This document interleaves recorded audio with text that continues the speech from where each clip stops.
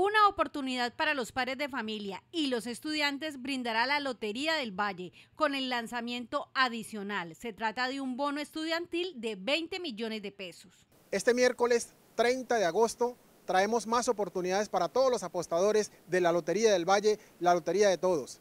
El sorteo 4707 trae un bono estudiantil muy especial para todos aquellos que quieran ganarse este bono estudiantil comprando el billete completo. Esta es la oportunidad para ganar los 6 mil millones de pesos que otorga el premio mayor, al igual que el pago de premios secos y aproximaciones que ascienden a los 15 mil millones de pesos. Siempre le decimos a todos los apostadores, compren su billete en los puntos autorizados ante su lotero de confianza. Siempre lotero de confianza le genera tranquilidad a todos los apostadores. Hay que jugarle legal a la salud.